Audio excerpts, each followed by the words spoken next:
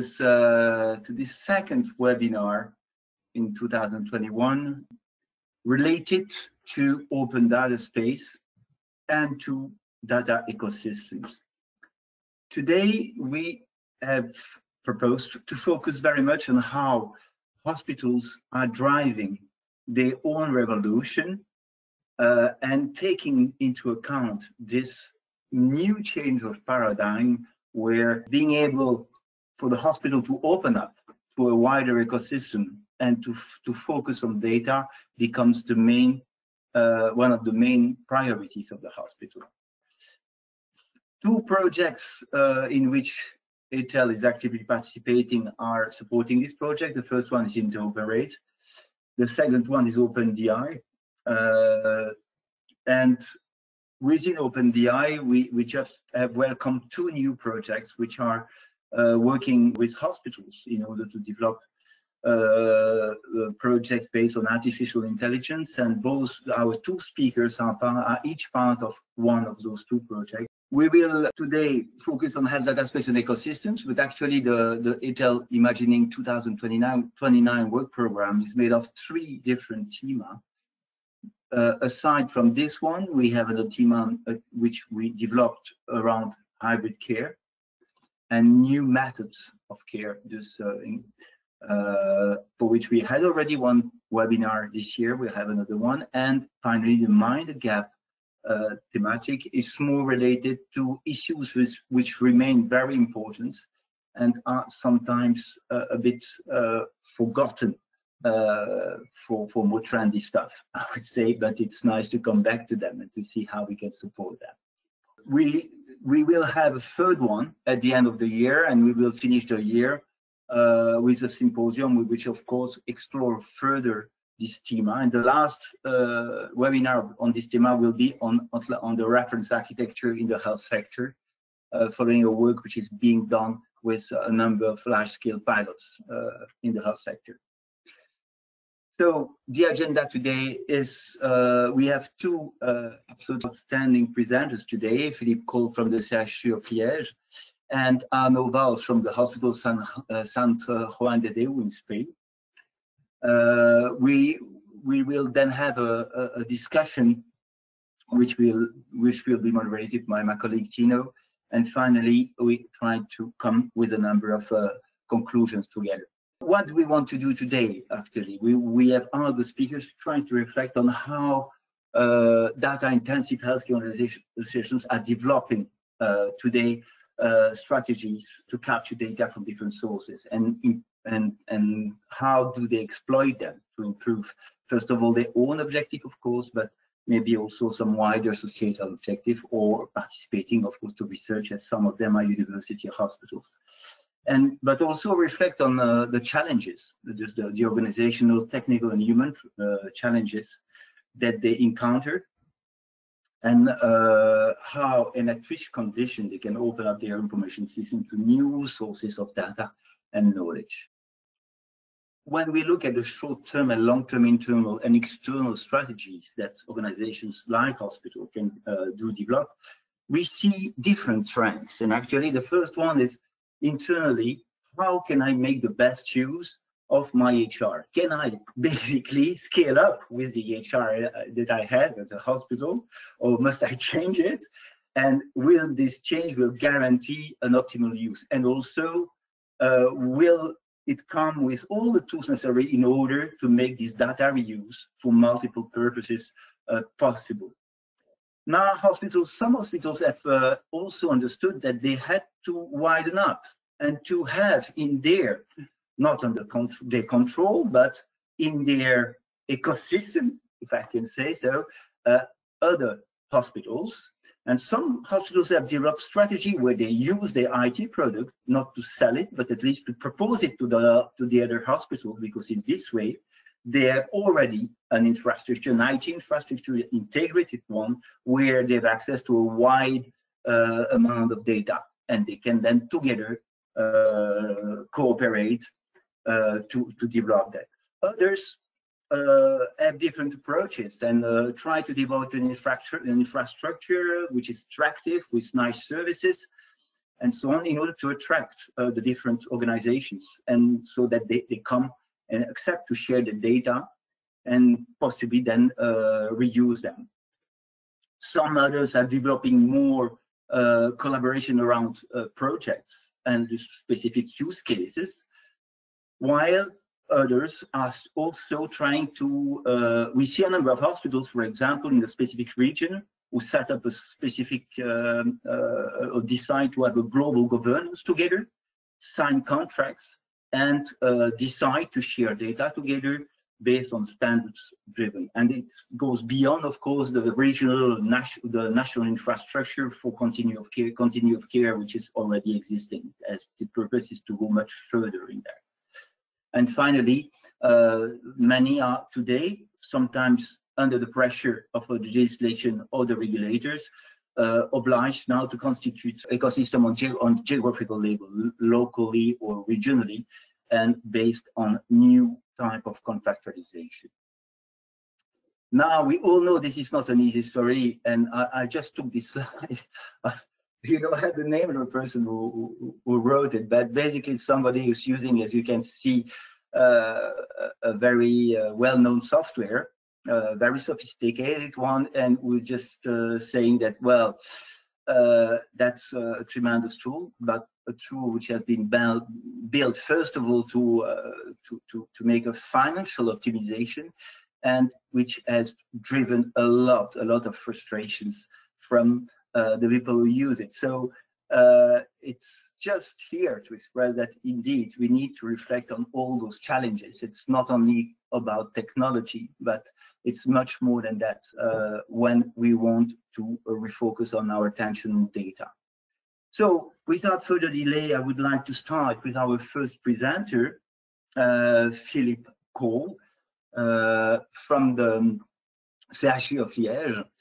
And Philippe has a, has a, has a tremendous career. I won't take uh, 10 minutes uh, to present him. He's, he's now a recent member of the, the Belgian Academy of Medicine. Uh, he has been, uh, he, he's, a, a, he's a doctor, he's a surgeon. Uh, he's also leading the destiny of the information system in the, the CHU of Liège since many, many, many years. He is also a teacher at the University of Liège. Philippe, it's the list is really too long. So you you have an incredible interface, I would say, not only uh, in terms of sciences, but also in terms of uh, of uh, interaction with stakeholders, and also geographically, because you've been you've been working in the states uh, for a number of years. So I would say we, with you today, we have the chance to have a, a vision which is really forged uh, into a reality and a wide one. So the floor is yours. So, so thank you very much uh, for asking me to do this, this presentation today. So I will walk through what we've been doing for the last uh, 15 years or more in our uh, university hospital in Liège. So the uh, University Hospital of Liège, you can you can go go on. So we show we see the old parameters here. Uh, it's an academic hospital with about uh, more than a thousand beds and about 5,500 members, with activities spread over eight locations, including four hospitalization sites. I think it's important to to remember that when looking at the the, the deployment of an electronic patient record uh, and how it can help a hospital with multi-site activities. And so since about now uh, more than 15 years, 17 years actually, we have launched an electronic patient record including medical, nursing, paramedical information, and also a complete imaging system. And it allows us uh, exchange of data inside and outside the hospital, ensuring an optimal continuity of hospital care and also uh, various type of extramural care. And so we have, uh, uh, I will not go into all details, but most of our functionalities, most functionalities that you expect in an electronic patient record are fully implemented. We started with the most simple, where physician and nurses uh, have access but are not implementing data. Uh, to uh, more complex functionalities, such as, for example, prescription of blood products, prescription of uh, medicine, uh, or uh, also a fully integrated drug circuit. And you probably are familiar with the EMRAM model of HIMSS, uh, electronic medical record adoption model, uh, which is a, a, system which I found very interesting uh, that actually uh, evaluate the maturity of your electronic medical record according to various criteria from zero to seven, seven being the highest level of maturity. And next, if you click one more, you will see that we are at level six. We obtained or achieved this level in November 2016, so about four and a half years ago, we would need to go through a recertification process as it is given for three, four years. With the COVID uh, crisis, we delayed that a little bit. And uh, we were the first hospital in Wallonia and the second in Belgium after the use at Brussels to, to reach this level. I, I believe since, since then, the University Hospital of Leuven has reached also uh, level six. A few hospitals in Europe that have reached level seven. I happen also to be an inspector for HIMSS, and I've been uh, visiting various hospitals, for example, in the Middle East, in, in Saudi Arabia, where they have reached uh, level seven, and it's actually very interesting to see not only how the uh, various functionalities are integrated, but also uh, the use of data from the data warehouse. So for what benefit do you, do you have an electronic patient record? Well, there are various benefits that are listed on, on this slide. So it's a quick access to patient record in one place, making it easier to consider all aspects of a patient condition. Next, it's uh, always available, up-to-date patient-related information. You don't uh, have to worry about the fact that maybe the patient was seen in another department or in another location and you don't have everything. The possibility of securely sharing information with patients and care providers. Uh, then streamline coding and billing. That's very important because at the end of the day, you know, every hospital is a company and we need to be financed. And in Belgium, especially academic hospitals, we need to uh, run a surplus so we able to invest in, in future projects, being in IT or in other sectors. It also decreased paperwork, and since the beginning of the project, we decided to go paperless. We have been paperless since about 2009, 2010. It also uh, has other benefits such as online appointment, online bill payments progressively, prescription refill request, and sometimes uh, even data uh, up-to-date update capabilities, for example. Next, uh, you help physician to reach the correct diagnosis and to prescribe more accurately. And so there, I think I will go back to that in a minute. The next step of an electronic patient record when you reach level six and especially level seven is a clinical decision support system. And you also reduce duplication of testing because when you remember when I was a resident in surgery, I'm a cardiovascular surgeon by training. Sometimes I wonder, you know, having seen 30 patients in the morning, well, did I yesterday prescribe a chest X-ray or cardiac echo for that particular patient? Uh, with with the system, you just have to check, and you usually you see that the patient uh, asked the appointment, for example, or that actually the exam maybe is already done so uh, to reach level six, you need that to have for all functionalities in at least 50% uh, of beds. And you need two specific uh, functionalities, clinical decision support system and closed loop medication administration. Clinical decision support system uh, link health observations to clinical knowledge. So what you observe for particular patients what are, what are uh, laboratory values, imaging values, data entered into the system, and, and these are linked with protocols, with outside guidelines or whatever. Here an example of a pneumonia severity index of fine score, which estimates uh, mortality for adult patients with community-acquired pneumonia. And very rapidly, you fill a few parameters, and you know in that particular case, uh, the, the risk of death, for example.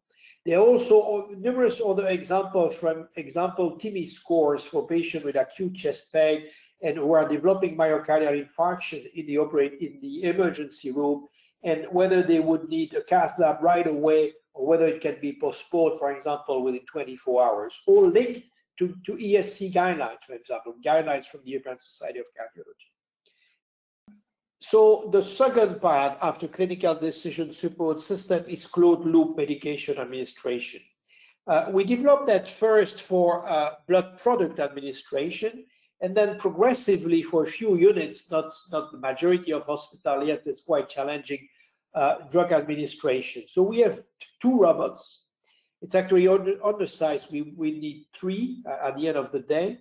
Uh, and these pharmacy robots are uh, driven, uh, they are yeah, they are driven by electronic prescription on one end and also drug inventory management system because you you can only uh, prescribe what you have in the hospital, obviously, what is available. It will link uh, the, the order uh, with prescription, and then each medic medicinal product is individually uh, identified by the robot. And so it's linked to the computerized prescription. It's linked to what's available in the system, as I said. But there, then each drug uh, in a blister, there is a, a barcode, and the barcode, uh, there is an, an association with the patient identity, the drug dosage, the drug administration route, and the time.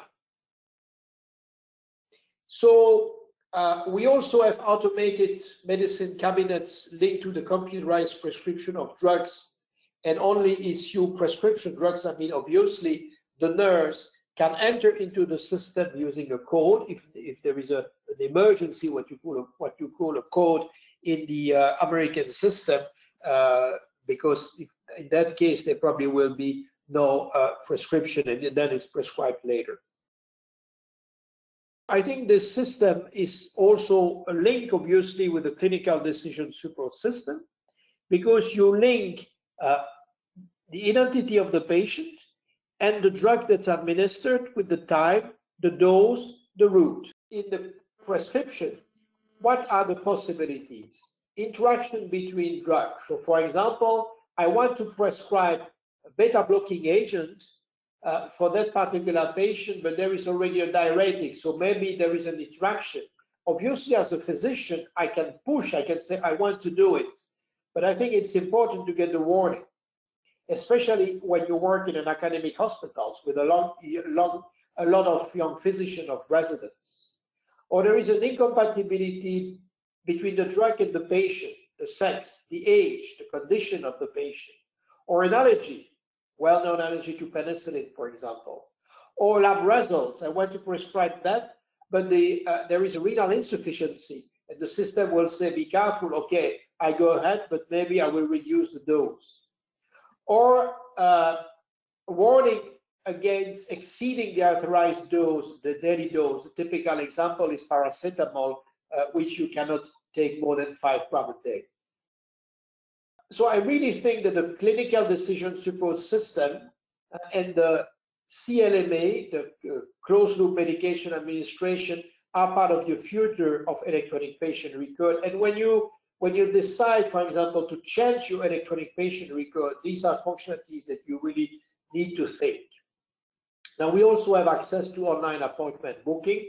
I think it's quite basic. There is nothing simple there. It's just a, a shift also in, in the way people work and they, they, they book their hotel, they book their travel. There is no reason why they couldn't book, uh, at least for younger people, their medical appointment online with some restriction.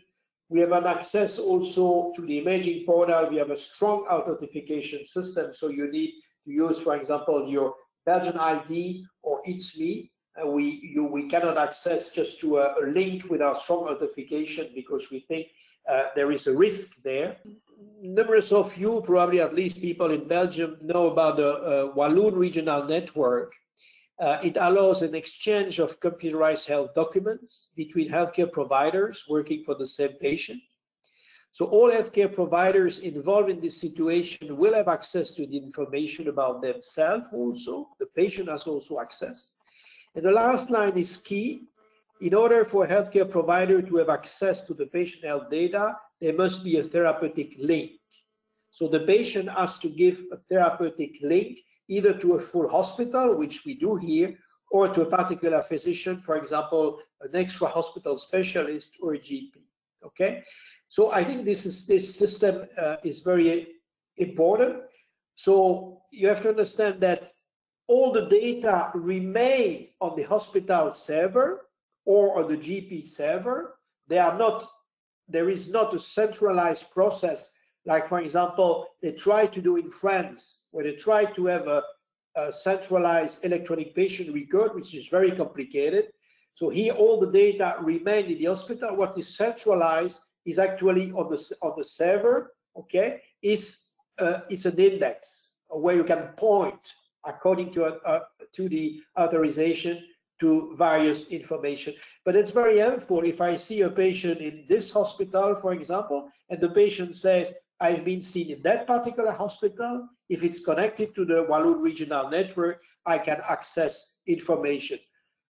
The problem is mostly, it's only actually uh, PDF information. Eh? That's, that's not data that you can use, that you can insert into your system. This is not the future, but that's already an interesting step in another model, which is called uh, the more a community level system. So having said that, let me move to the use of data. We, in our department, of a specific, uh, within our department, a sub-department which is called Medical Economic Information Department that actually was created in 2005.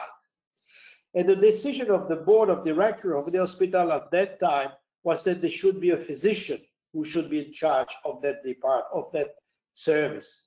I became CIO a few years later in 2009. And I think it makes perfect sense that the physician is in charge of, data. What are the mission in, in, this department? There is a sector of data analysis. That's my colleague Jessica Jacques. Some of you know her well. And, and thanks to her, she helped me to prepare this slide with all this presentation with other colleagues. There are two main missions of that uh, sector: provide medical data for physicians, for example, that ask it, or an, and analyze the medical economic situation of the hospital. And for example, make a provision of what uh, are activities, the so-called justified activities, justified beds in Belgium will be. You know probably that in Belgium, as in other countries, I think it's the same in Germany, for example, uh, if a patient with a, a patient with a particular diagnosis related group, a particular DRG, the hospital is financed according to the average national length of stay. And so the content of the data warehouse is quite rich. We have medical biology information, nuclear medicine, economic data on hospital stay, patient appointment, operating room. I will not read that. All the systems are progressively connected. So it's not only information from the core of the electronic patient record. It's also information from the laboratory information system, from the uh, billing system, from the uh, admission, departure, and transfer system. Okay, and that's that's very important because then you can cross-check all information.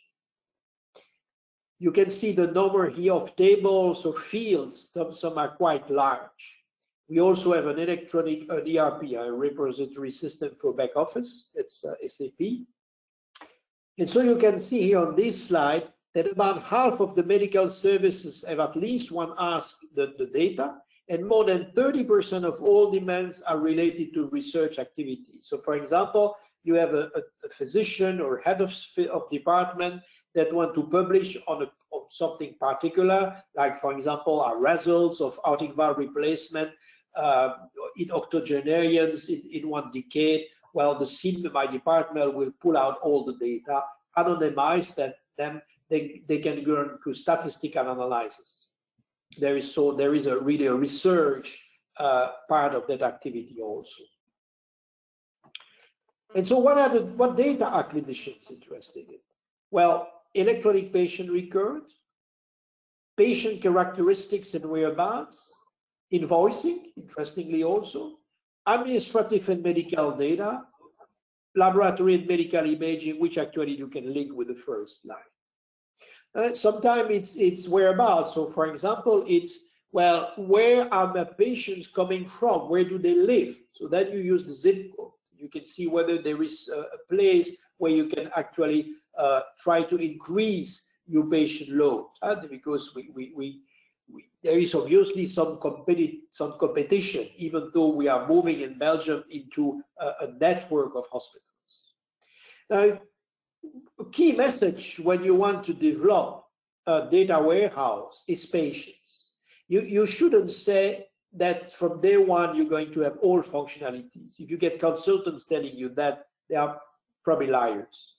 Because you need to progressively feed the system. The most important, in addition of patience, is to make sure that the data are correct. It, with with Jessica, there are four analysts. These people, they they really all are uh, uh, have a master degree and even some have a PhD degrees. Uh, and I think it's very important because physicians and also the direction of the hospital, as Julien Compère, our CEO, they need to trust the data. The last thing you want is to have data that you cannot trust. Because sometimes uh, uh, you, you can be in difficult situation because uh, the activities is not good or because the mortality is too high or, or whatever. There are some sometimes subtle reasons. And so you can see here how it was progressively developed, or all the data are progressively uh, feeding the system over the last five to seven years. So the success factor, obviously, you need to have a successful uh, uh, EMR experience. You cannot have a data warehouse if you do not have an electronic medical record. You need to define the role. IT is there for data warehouse ETL. Data analysts, analysts are specific work. They are there to exploit the clinical data. You need a close synergy between them. The data analyst must have a scientific background. They must understand what they are doing. I'm not saying IT people cannot get a scientific background, but there's a very specific training. The possibilities depend on the maturity of the EMR. And if you go back to the, don't move, huh? but if you if we would go back to the slide with the EMRAM level, you would remember that level seven, you need a data warehouse. And you oh, not only you need data warehouse, but you also need to use your data warehouse.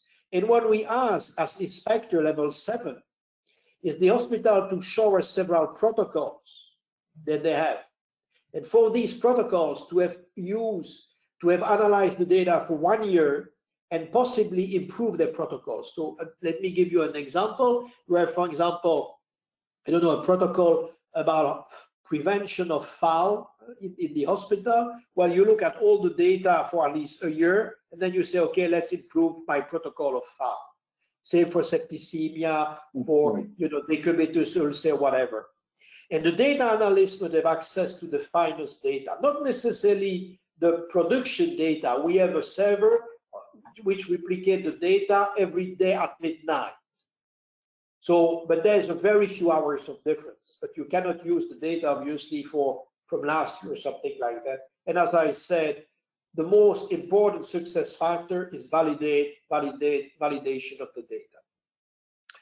So a few perspectives to, to conclude maybe in the next five or 10 minutes at the most is dashboard reporting provision of COVID clinical data, sharing clinical data with pharmaceutical industries, and use of for research. So the first one is, uh, yeah, the dashboard. One example is a focus on oncology. Well, the main again, for data to be valid, you need to use a correct definition. And for the oncologic patient, what is the source? It can be Belgian Cancer Registry. It can be uh, data that have been coded according to what is the electronic medical record, résumé hospitalier minimum, minimal hospitalized, minimal hospital summary, or from radiotherapy, in, in case the patient has received radiotherapy.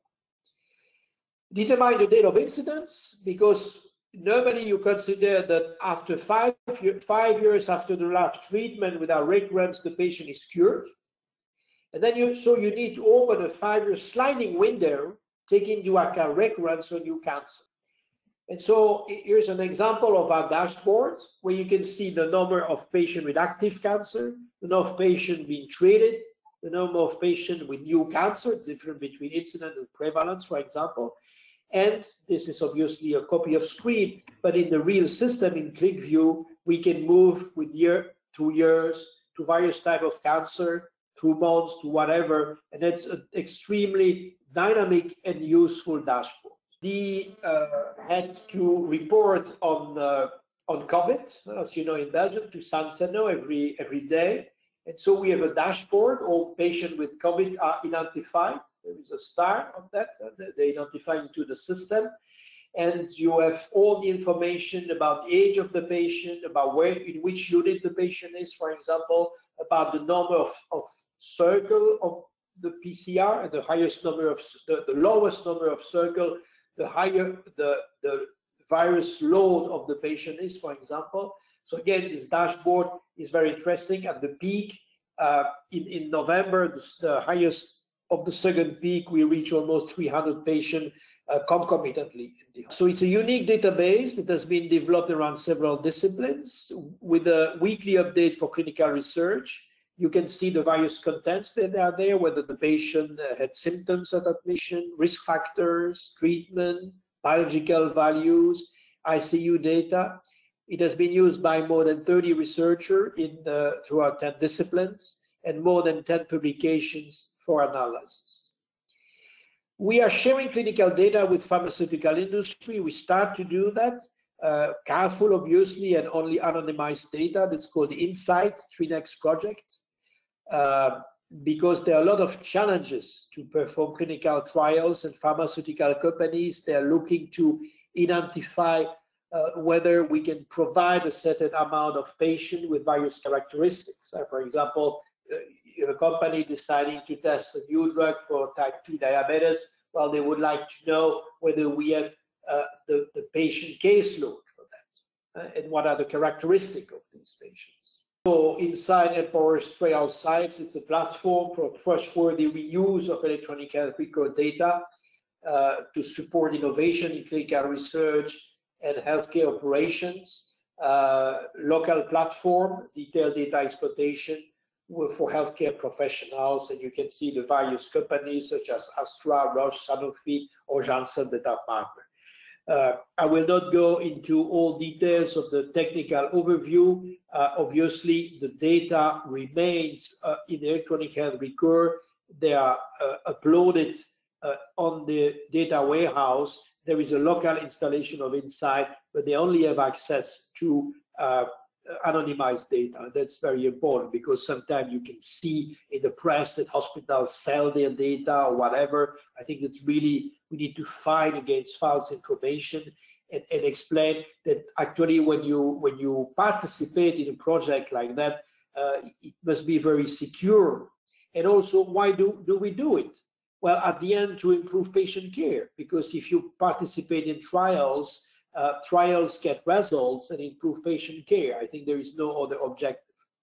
So in the InSite Partner Hospital Network, so far the 11 countries, uh, 20 million patient record in 2017 and the number of patient record in the network in 19. So it's increasing tremendously. It's a European network project. And finally, uh, and, and that's also, I guess, my, my academic background, I really insist that we participate into European projects, into Belgian projects, into international projects.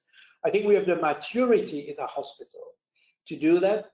Uh, and, and we, it's also an occasion on this platform, uh, we would favorite to participate in other net, in other research projects, to welcome partners. And I think that that really is very exciting. So a few example, it's the uh, it's an Interreg project, so it's it's European, but limited to neighboring countries. Uh, in this case, uh, Euregio Meuse-Rhine. So here the objective is to develop multi-sensors, wearable, secured, and wireless monitoring system for inpatients from 2018 till the end of this year. And so various parameters are collected, for example, uh, blood pressure, uh, heart rate, respiratory temperature, uh, water content of the body uh, through a wearable. That's it, this we we are here talking about hospitalized patient for the, for the, this this project. We will move to an outpatient project. Wearable could be the jacket, for example, that the patient is using while in the hospital. And so the device here is on the chest. The data is processed. And you can see I, I listed several of them, blood pressure, heart rate, O2 saturation, uh, breathing rate, also activities and so forth. Uh, so it's quite uh, quite large. And, and why do we, would would you do that? Well, because these parameters, for example, give you an idea that the patient is entering maybe a fluid overload and will need a diuretic and instead of having the nurse taking this parameter twice a day, well, the idea is to decrease the workload of the nurses or the paramedics and to feed the system with online data immediately.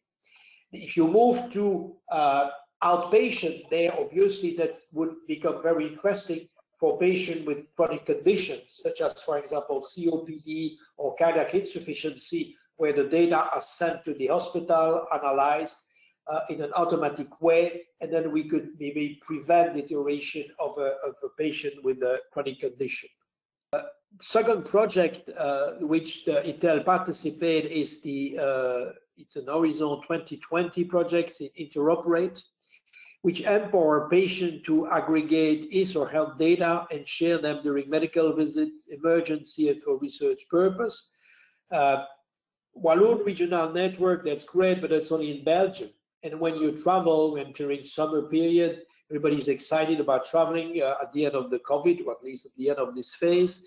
But if you get sick somewhere, you, I think it's very important to be able to share the data. And also when you come back into your living environment. And so requirements definition, co-creation of patient healthcare practitioners application, data provider, data conversion rules, clinical validation studies. Another project is PERSIST, which is the, the aim is to improve the quality of life of cancer survivors with the help of AI and big data. Uh, that started last year and will run till 23.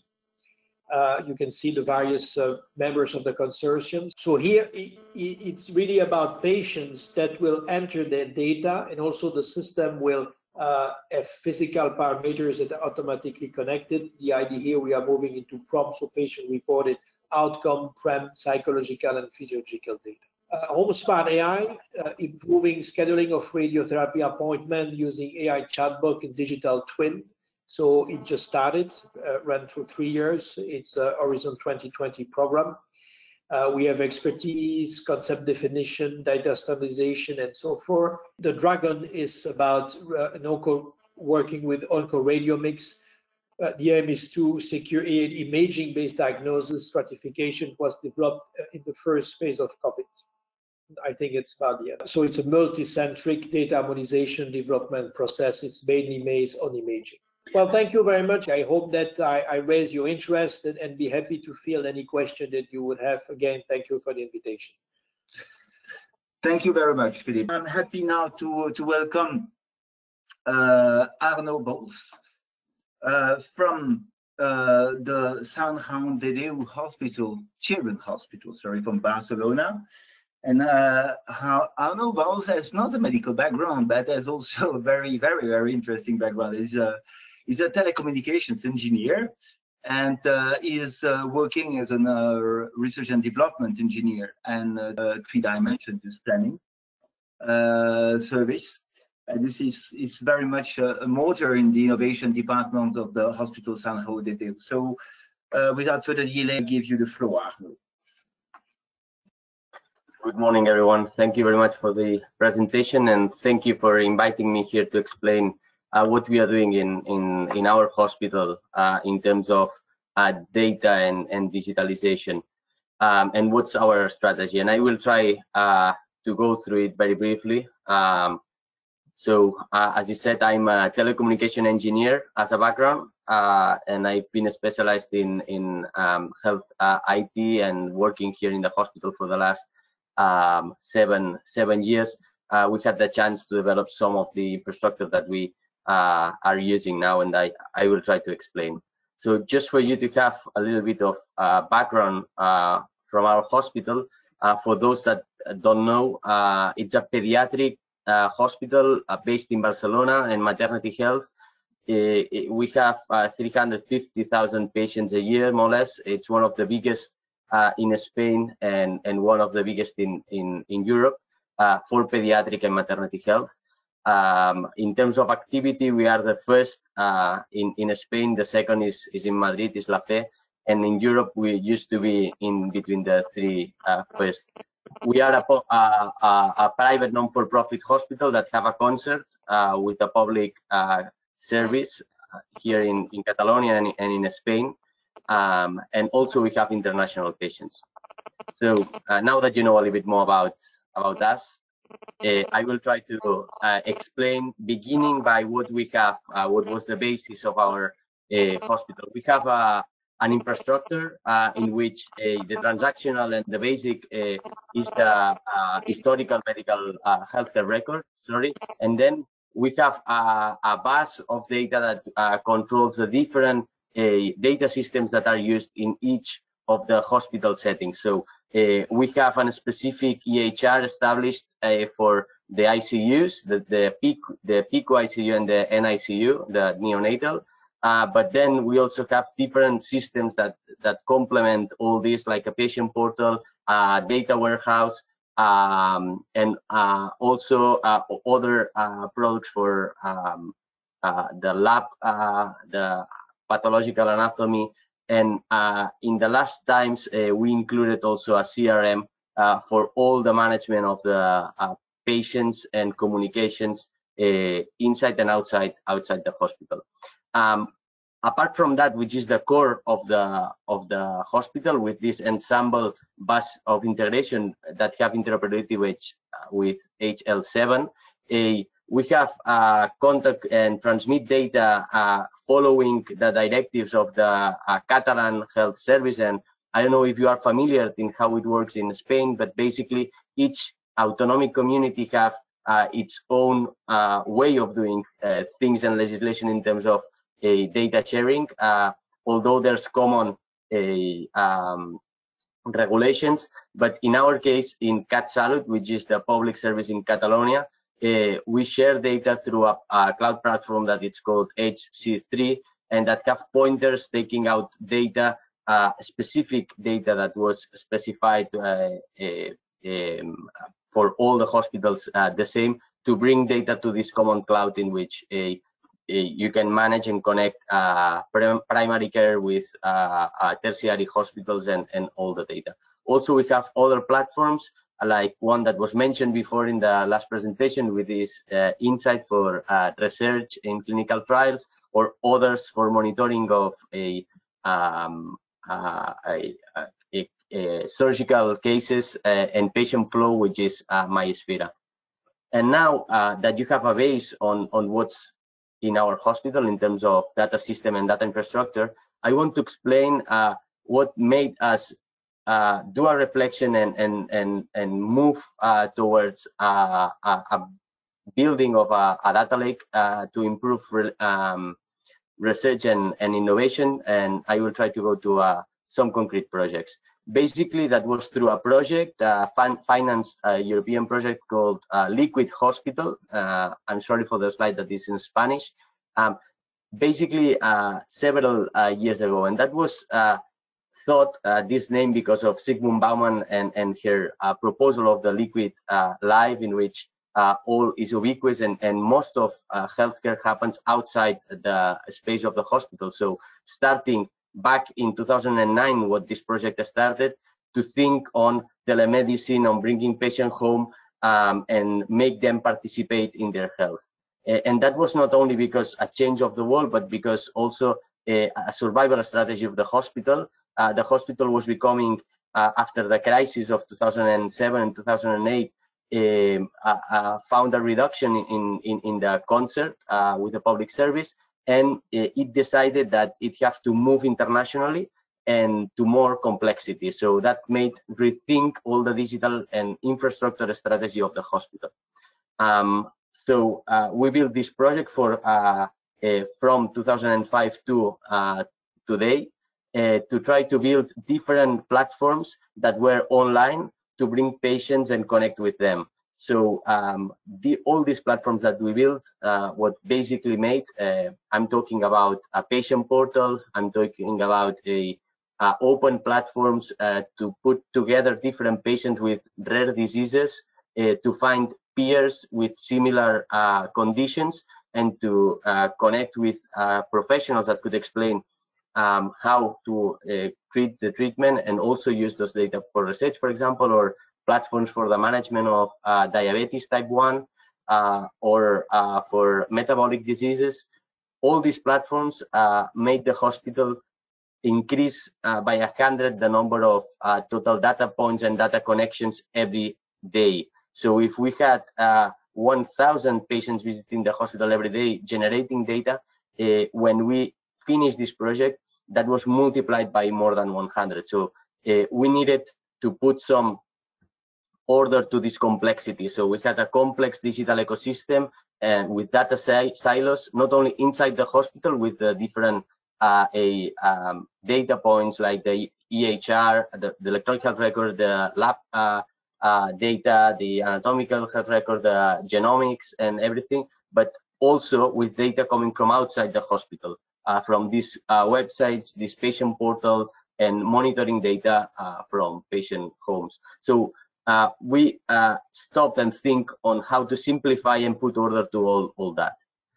Um, that uh, was done through a European project, which is called the Liquid Hospital uh, 4.0 uh, from 2015 and 2019, and with some collaborations from uh, different partners that help on, on this journey. Uh, basically, our objective of this project was first uh, to increase, improve the model of attention and provision of services to ensure a multi-channelity. for that, we created a, a CRM, a CRM. So we integrated, sorry, a CRM uh, to make this connection and put all the channels uh, of communication uh, through a contact center uh, and with data managing one uh, only system. Uh, improving the patient portal so that we can connect and integrate to the different um, systems of the hospital, gathering data from questionnaires, from monitoring data through a protected channel in which we could also do a, um, a sharing of, of data in a secure way.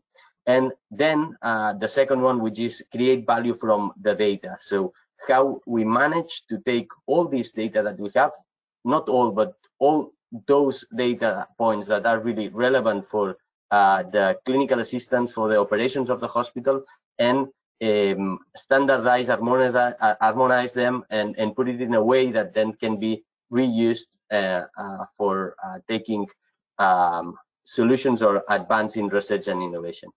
So the, the, the, first was how to put the order from all these uh, repositories of clinical data, bio and omical data, monitoring data, and social data. Um, in our case, we have a D per C uh, H, uh, EHR, so it's not Epic or one of those big ones that already have mounted a system for uh, or some systems for uh, data analytics. In our case, um, we have a, a, an EHR that it made it very difficult to gather all this data and was no space uh, to put it there. So the question was where to put this data. Um, so we decided that the best way would be to to build uh, or integrate a new system, uh, which is a data lake, uh, to integrate all, all these data points of interest uh, in an harmonized way so that we could work then uh, out this data and the, and the developments that, that uh, have to be done. And that was complementing a data warehouse. So we already have a data warehouse in the hospital uh, that is mainly focused for management control uh, and for improvement of health uh, healthcare processes, counting a number of beds, occupation in emergency department, in hospitalization, and external consultancies. Uh, so uh, basically focused on structured data, uh, structured in a way that we can take out some KPIs, some outcomes, some scores, and more focused in operational control uh, management. But we needed another space uh, that let uh, take data not only structured but also uh, non-structured, non-SQL data for in, improving and using data for research and having the secondary use and uh, helping on advance in innovation of, of new solutions. So more focused on um, doing predictive analytics, data discovery more easy because um, most of the problems that we got while uh, trying to uh, look for uh, different patterns in, in data from a clinical point of view or from a research point of view was that uh, the way we had the data organized was not easy um, to look for longitudinal or big uh, amount of data uh, structured in a way that then can be easy uh, to um, to work with. And and and most of the of the cases were uh, first studied case by case and really difficult to analyze how to extract data from the different origins to create the database that you then would be using. So we tried to um, rephrase it and try to define first uh, the protocols, the standards, and, and the way we want this data organized to try to easy uh, the process then of uh, um, uh, uh, doing uh, data extraction and, and, and working with, with data types. Of course, that's really complex and, and it's a work in progress, something in which we are already working and with several um, difficulties in, in the path. And I absolutely agree with the previous uh, presentation in that a, the most important thing here is is, is patience uh, and it's a work in progress. So that that's what we created a, a, data lake that we call it Health Data Manager. The this uh, is integrated through HL7 uh, to the bus or uh, the data bus of the of the hospital and connected through different uh, origins of data. it have ETL um, uh, defined with not only the EHR, but also with other uh, origins of data through this bus. And it gathers data uh, that is structured and unstructured. And then we have uh, uh, a defined protocol inside the HDM for uh, harmonizing this data in different levels from raw data to a, a more um, um, a standardized and, and, and, and, and that can be queried with SQL um, uh, language. Uh, this data, data infrastructure, um, it's distributed and and and enriched, and then we have some uh, components, uh, some open source components uh, that build the application layer. And this application layer is focused in two main objectives that are some of data querying and, and, and data acquisition, more for research, and the second one more for uh, users that are not familiar with um, a, this kind of languages uh, for for developing uh, solutions and and for querying rapid uh, rapidly uh, the data you need the variables you need uh, in in a in a in a more easy easy way. Um, nowadays we integrated um, more than one million and a half data subjects from different uh, uh, data origins, more than 21, uh, lab, pharma, electronic health record, and we also have a not all the data inside this system, but those data that are really important for uh, for the cases that we want to develop. So we keep building it by uh, a, a, calendar and a program uh, based on the needs that we we found also we, we take a decision on not putting inside this data lake the imaging uh, rather than that we have some of the information from the um, from the from the uh, imaging and the PACS and uh, just taking the the clinical and, and patient data and the imaging it's just connected by a pointer that in case it's needed we can import to the to the data lake um, the the system uh, diagnosis it's focused uh, and based on ICD-10 and ORPHA uh, for orphan diseases, which is something very common in, in, in pediatric care. Um, this cloud-based data lake uh, have, as I mentioned before, three main objectives. Clinical decision support systems uh, with a, an open source system that helps create dashboards that then uh, can be projected into the uh, a, a transactional um, uh, software that the, the professionals will, will see. Then a second uh, a second application which is uh, basically for research, uh, integrating the Jupyter Lab. Um, that's separated from the uh, uh, main data point, and, and in that um, we extract those tables of data that, that we need to do the research and provide space for the researchers for a certain amount of, of time and capacity. And uh, we piloted uh, this in in two main uh, areas first in obesity and second in, in diabetes type 1 but uh, moving to the to what i said at the beginning uh, trying to put some order on the uh, communication and and and and data um, we created this strategy it's called cortex to improve efficiency outcomes and, and patient experience, but that mainly have three parts. A command center that is focused on improving uh, workflows and that takes data from the data warehouse, but also from the uh, data lake and, and some monitoring data. Second, uh, the contact center, which basically works with the Salesforce uh, CRM and, and that basically focus uh, with a team of people trained uh, for that to give and provide answers to the people that uh, contact the hospital from different levels, administrative level or uh, direct contact. And then an e-care part, which is focused on telemedicine, uh, basically, and that we start, start piloting uh, in cardiology and diabetes. Um, that's what we have uh, built. That's how it looks. That the the telemetry and command center uh, be, uh, for patient uh, monitoring.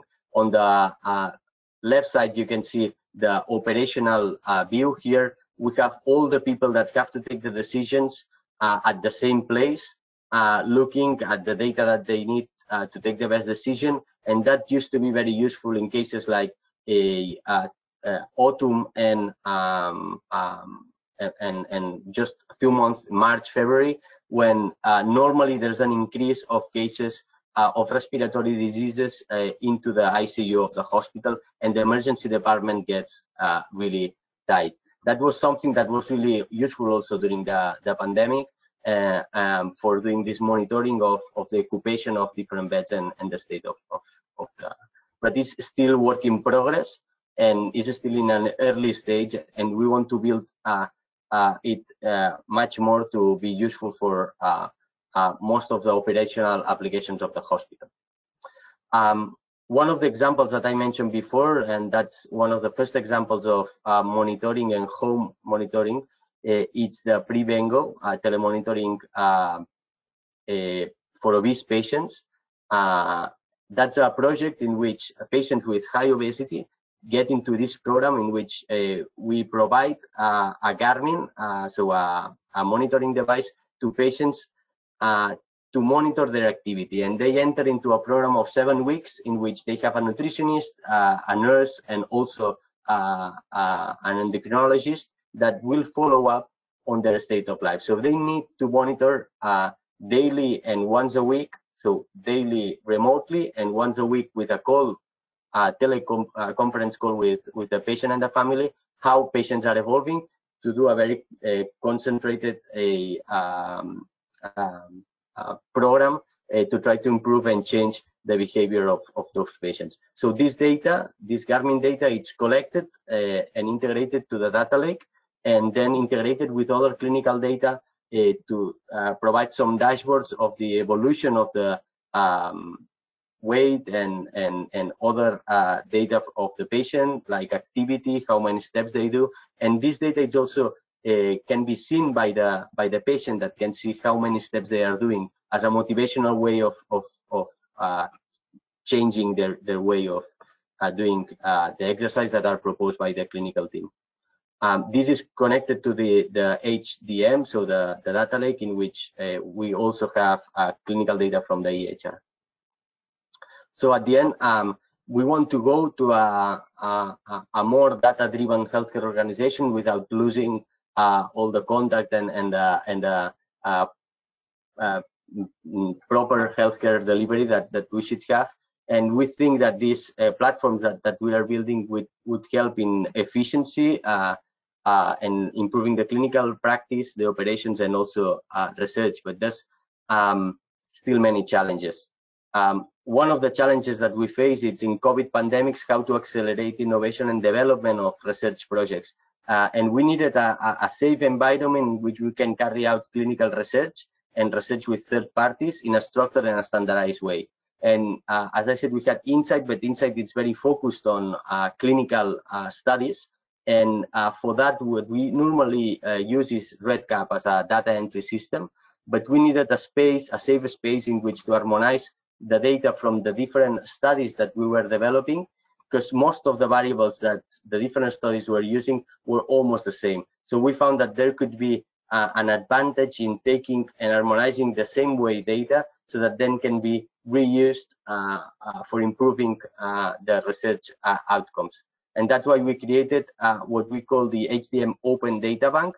So it's a secure part of the data lake in which um, as in the HDM with the pseudonymized uh, data, uh, but uh, with uh, some levels of uh, and, and and some applications for uh, extracting and doing a, a proper hash hashing encryption of data of certain variables. we can share this data also with external entities that they can download in an harmonized way the, the data that we use in, in this research. But also for the internal use, um, all this data it's harmonized so the, the, the the people and the researchers can access the data of their study but then other studies can be built on top of uh, the, the all the data collected of course and always going through the ethical committees and and asking for all the uh, uh, permissions that are needed. But basically that was the the problem. We had a, a um, 19 studies uh, most of them collecting data through REDCap, but some of them collecting it by Access or Excel even. And there, there was a need of a certain harmonization. Um, so uh, we decided to harmonize and everybody collect data with REDCap, uh, taking all this data to a database that then uh, codifies, uh, harmonize with uh, some bioinformatic that helps on this harmonization and, and, and, and data management. And then a um, taking up this data to the uh, uh, HDM, the, the data lake. So um, the result of that, and that's an, an old picture, but a Kids Corona, it's called the research project. Uh, we uh, now have uh, six data sets uh, from pediatric, adult, and pregnant populations. And the sum of the different data sets made the sum of 17,000 subjects with more than 7,000 PCRs and, and, and more than 4,000 serological samples, which is the sum of the results of, of the different uh, data sets.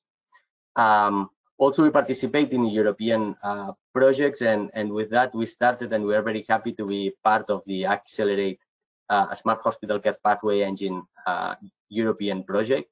That is a project that, uh, together with uh, Haas University in Helsinki, um, Bambino Gesù in Italy, uh, Oulu Hospital in the north of, of Finland, and many other institutions and research project, uh, uh, research universities. Uh, we are focusing on developing uh, AI-based solutions to optimize hospital processes and improve the quality of patient care. And this project consortium that was led by the Helsinki University Hospital starts now and will end in three years. But uh, said that, uh, we found many barriers in the in the in the process of developing, and I think many barriers are still there. Um, data is still in uh, very heterogeneous in different systems. Uh, there is a lack uh, of a common standard uh, and terminologies uh, throughout uh, the different um, hospitals, even systems, healthcare systems, and and and interoper interoperability is still uh, scarce and, and difficult. So uh, we think those topics, if we want to move uh, to a unified um, uh, uh, system in which we can reshare data, it, uh, there's a long way uh, to, to, move forward. Even in our case, in here in Barcelona, with the closest um, hospitals.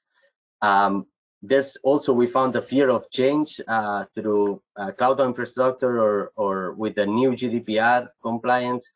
Um, and there's some fear on the cost that it could have, on the changes, on the implications that it could have, um, and the and, and a fear of, of sharing uh, data. So uh, we found a difficulties in, in governance, in traceability, in security, but also uh, the coexistence of, of uh, codings and ontologies don't make it easier. Uh, and we found that there's uh, very different levels of development. if we are talking about genetic or genomic data, or we are talking about uh, imaging, or we are talking about other types of clinical data, and uh, most should be done on that. Um, so um, one important thing also is that there's new profiles needed, uh, IT, bioinformatics, and mathematicians uh, needed to move all that forward, and it needs a lot of time, a lot of effort, uh, uh, and to put all the stakeholders together to in the hospital to make really uh, move and advance on on, on this field. Uh, not to mention the new uh, regulation for um, medical devices that takes the uh, algorithms uh, development and most of the software as a medical device and, and steps on uh, regulations that must be followed if you want to develop software and um, data solutions for healthcare. So um, thank you very much. And I tried to briefly explain what where we are and, and the strategy that, that we followed without going uh, too much in depth uh, in technicalities. Thank you very much. Thank you very much, uh, Arnau. Uh, we are really uh, mm, with short time for discussion, but we, we wanted to uh, start with a um, reaction from the front row. And we, we have two speakers today, two panelists. Mm, uh, Professor André Scherag uh, from Jena University and Stefano Dalmiani from uh, Fondazione Toscana Gabriele Monasterio. And uh, as you can see, the complexity of both presentations in terms of projects and the use of data for different purposes is uh, overwhelming. Uh, but I would like to point out two main directions and actually to, to ask the reaction from uh, Professor Scherag and, and Dr. Dalmiani. Uh, uh, first is the connection of data used for research. It looks like research is really a driver of innovation in both hospitals. And I would like to listen from both of you uh, your views uh, in, in this field. So please, maybe uh, Professor Scherag, would you like to take the floor first? Of course, yeah, I can and it, that's eh, actually linked to some of the notes that I took during during your inspiring talks. Thanks for the talk so far, and also thanks for the invitation. Yes, um, we had uh, the meeting of the so-called Medical Informatics Initiative, which is an initiative in all German medical hospitals, uh, yeah, just yesterday. And um, the the points that were made with regard to IT infrastructure, clinical decision support systems, and so on, were very similar to what you showed here uh, in, in, in Belgium and in France. And um, then the question came up from one of the panelists, and I just repeat this here, how do we integrate uh, information and data uh, from other sources? Let's say we have uh, uh guidelines or uh, meta-analysis or very high-level clinical information from evidence-based medicine, how this how is this put into practice in our hospitals? And that we should be aware that most of the data that we have even though they might may, may be valid and they are checked and so on and you both pointed uh, out that this is important uh, it, it's still some sort of ob observational data. And uh, of course uh, we are all uh, in the first stage um, focusing on getting access to the data getting the data. However we might run into several biases later on, and uh, we have to take care of that uh, probably at the moment or in the meanwhile, because otherwise uh, we might corrupt trust in the data.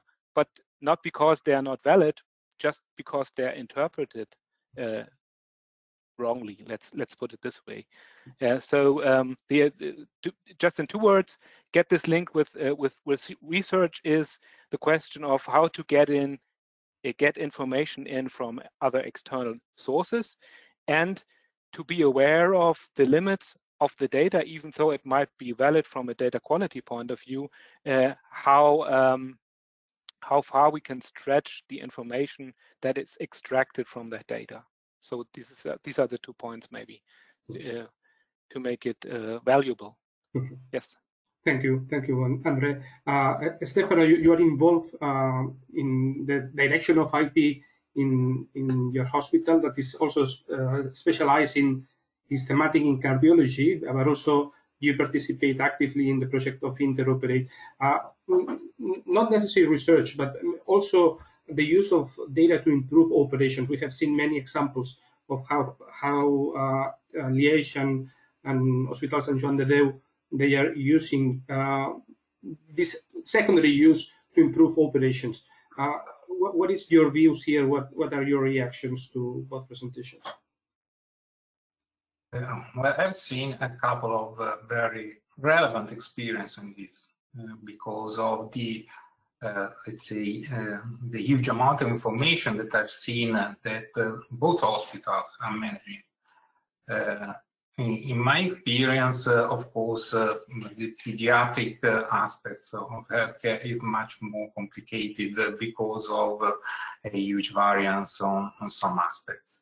Or uh, especially for clinical decision support system for the lack of some rules or regulation to be applied directly in pediatric uh, field.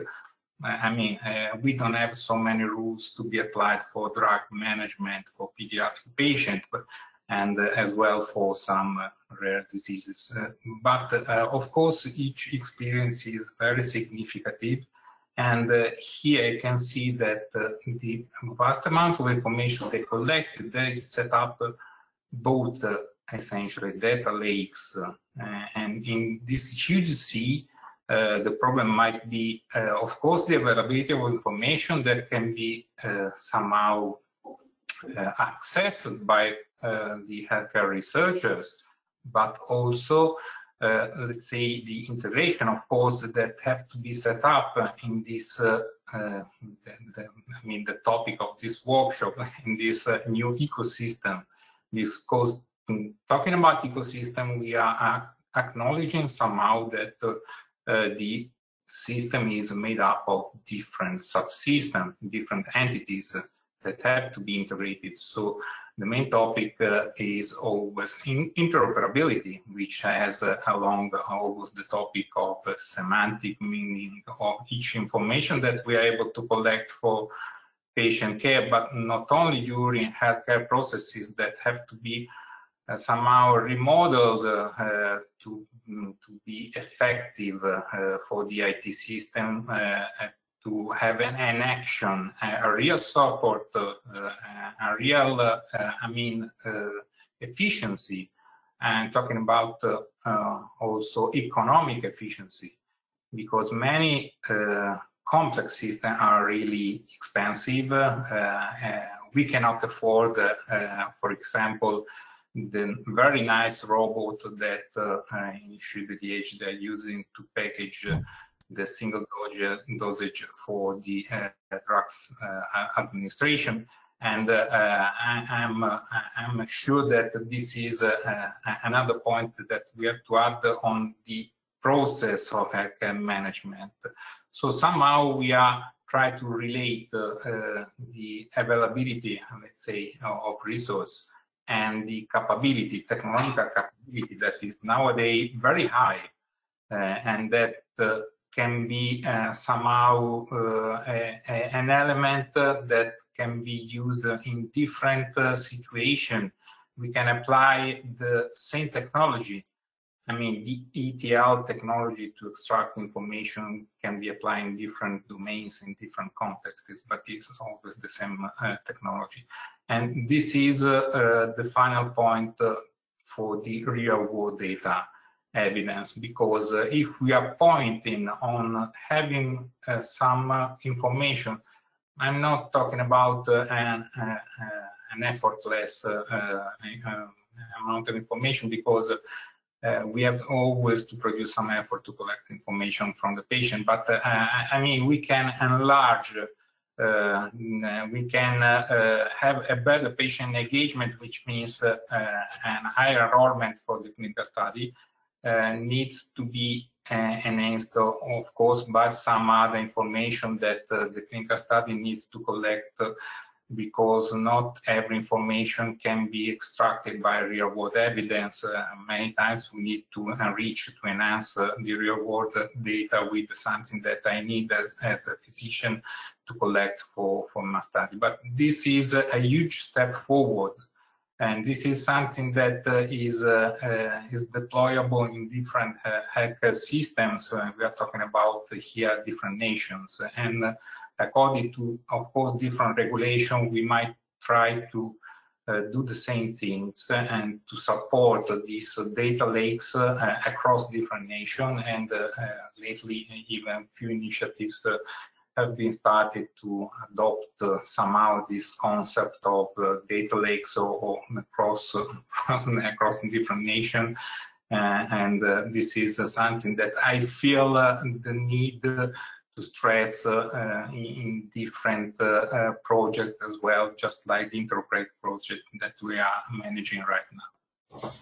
Thank you, Stefano. I think this is actually uh, uh, one of the big, biggest challenges because we can see how the complexity of data uh, within the hospital is growing, but also the need of connection with other healthcare providers. We have seen the two experience of uh, connecting information or data uh, in national networks and, and to improve integrated care with uh, other levels of care, uh, but also that these new sources of data, mobile health, patient-generated data. And here I would like to invite both speakers maybe to reflect a little bit about these challenges. Uh, you, are, you are growing you are making more complex the uh, data management.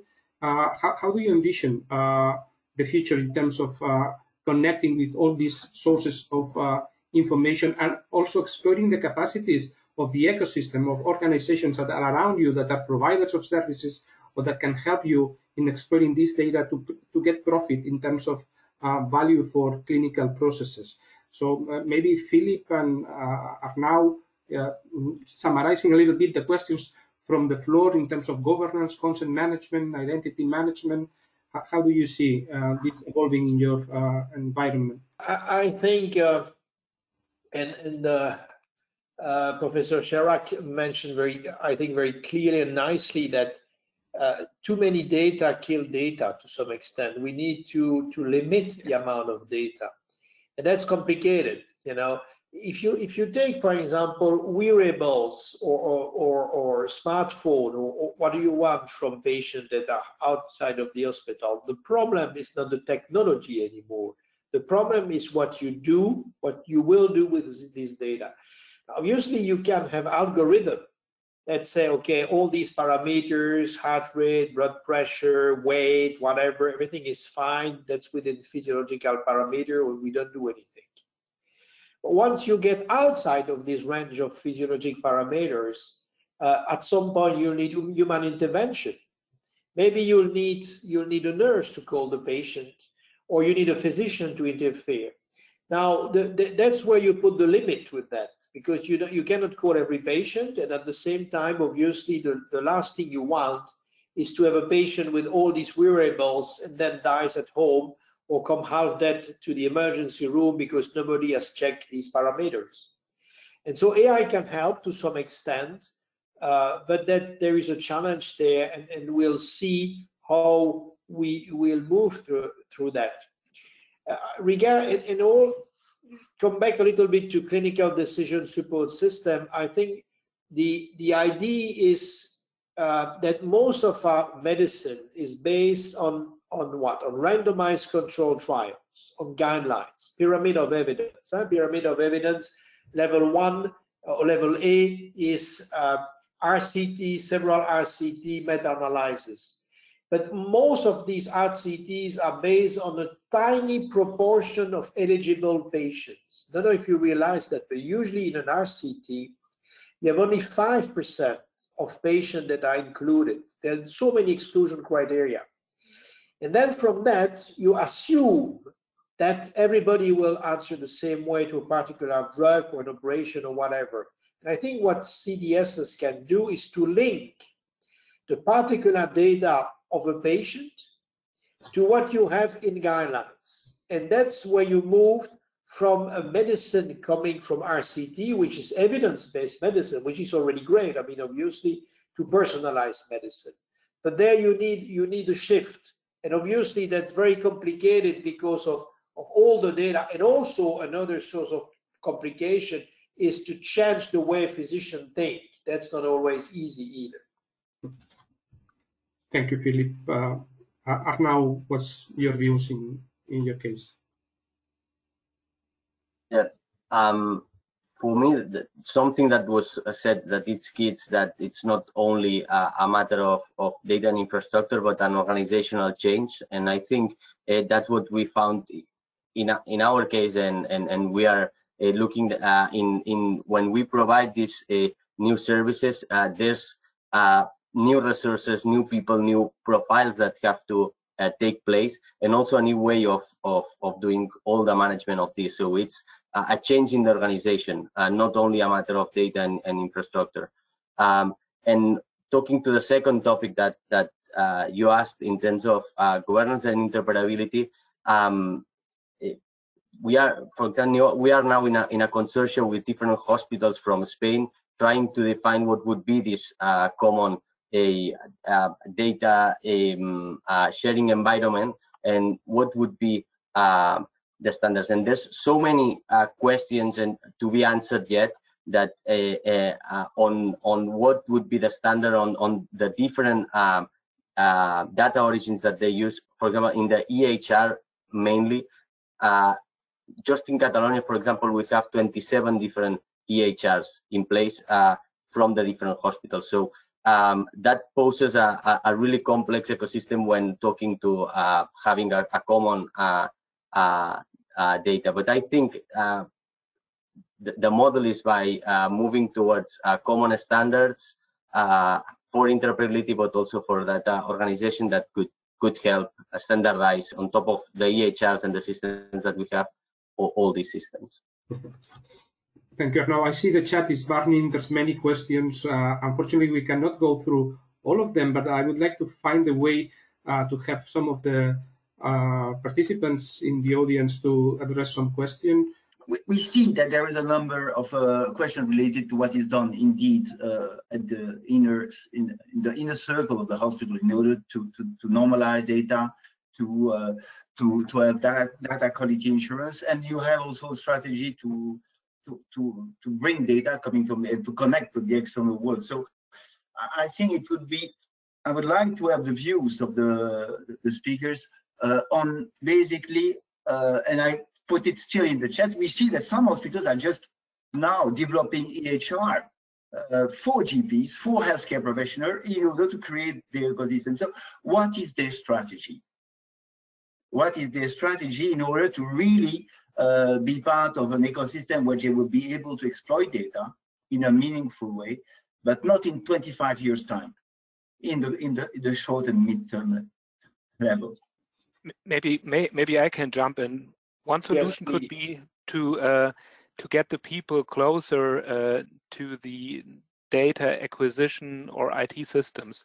Um, Arnau mentioned uh, the REDCap system, for example, which is easy to use for the doctors, I guess, and um, instead of waiting, say, uh, another half a year for some IT person to implement something, we can teach the doctors how to set up the REDCap and uh, adapt it to the specific needs of, of the person, and they will quickly see uh, their successes. You know, bec because it's it's set up so easy. So that could be one issue, and uh, and of course uh, the whole issue of data literacy.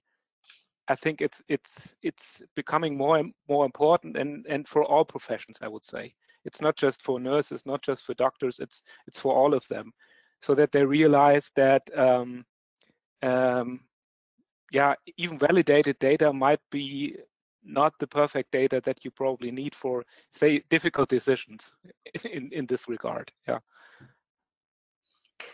Yeah, I, I mean, the, the, more broadly, there there were several questions, and I try to answer some of them regarding the the, the quality of the data. Obviously, you, you, the, what you get in, you get out. Huh? If you quality the, the data entered is not is not high quality, uh, you you will not so you, you will not get get it out with high quality. So you need to have some several validation system. It's complicated usually to to have uh, harmonization of, of, of the information that is entered. When we started the EHR project back in, in 2004, we, we, we discussed a lot about trying to implement uh, various protocols and also using the same wording. For example, you use, you know, that the ICD-9 definition of a particular disease, like the coding people do. It's almost impossible because physicians will tell you, and I'm a physician myself, as I said, well, in that particular case, it's it's not exactly that, but it's that. So I need to be, you know, it's not a, a standard myocardial infarction because I want to explain that it's it's subacute, and in addition, it's on inferior inferior wall, but it's an addition on a scar, and and and you get that in all disease. And so, if you want to limit to a very strict definition, you probably missed the target. I, I, hope that NLP will help us there. National language processing will help us to try to dig information out of uh, of everything that has been entered as free text in in the medical chart. That's that's I think the way I see it. Um, but again, the quality of the data is key. And, and when you get a, a medical department, for example, that's very well organized with a academic type of of uh, of head, which tell this is the way we're going to work. And uh, well, it's all it always work better as opposed to a type where okay, everybody does what he wants or what her wants. Doesn't mean that the the quality of care is not good. That's not the problem. The problem is the quality of the data that that's entered. And and I think also the training of the data analyst. And I, I try to answer that in the chat also uh, the interaction, the close, closed loop interaction between the data analysts and the people that enter the data are very important because then you can make people who enter the data realize that they need to increase to improve this and these particular things. So we we we're doing that regularly, and we also try to focus more uh, in a few pilot departments now. But is your decision, clinical decision support support system in this actually based on AI or on rules? I, did answer it. I said no. I, I say no, uh, not yet. It, it's only something we started, this clinical decision support system, partly uh, in, in the view of the EMRAM6 and have deployed a little bit, but not as much as I would because of the COVID. What I mentioned is, I think I mentioned that in the uh, in the chat. Uh, we answered a few months ago a call for challenge for, from the EU. Some of you have probably seen that. Uh, and what we propose is so call for challenge, meaning companies answer, uh, to develop a CDSS system using both discrete and non-discrete data from the medical chart and link them with guidelines. The, so to help physicians provide diagnostic and therapeutic decisions at the patient bedside. And actually, there, there was various topics I had to propose. We proposed that topic and other proposed other topics, and we got 20 answers. 20 companies were interested.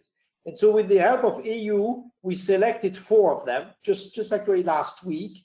And now we are going to start this uh, challenge. I mean, the, the realistic part of the challenge. But it's very interesting to see how CDSS is uh, is getting a lot of traction.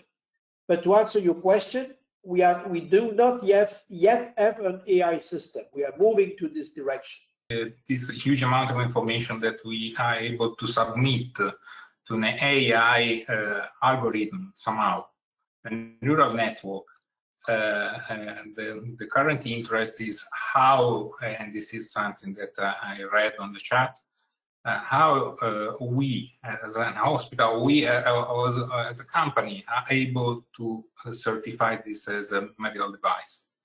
And this is a major challenge. Right, because... and, obviously these calls for challenge are quite limited uh, because we are to each companies that has been selected will receive 70,000 euro. Uh, it's so basically you pay somebody for a few months. They have six months to do that, and and we'll see. I think will be just a start actually, but it's interesting to see that the EU is is investing then in the healthcare system.